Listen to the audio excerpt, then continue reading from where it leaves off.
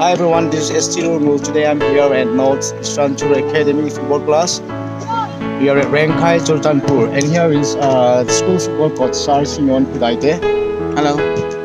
Okay, sir, can you please give me a brief introduction about yourself and the sports department? Yes, uh, my name is Simeon Pudaite, uh, and our department is sports uh, in Northeastern Children's Academy. Under under this, we have uh, four categories: football, table tennis, volleyball, and badminton. And among this, I am the coach of football, and we have uh, badminton there. Uh, we don't have a coach right now, but uh, there are some national level players who come to teach the students, and we we hire them, we pay them, and uh, they come uh, three or twice in a month. So that is what we do.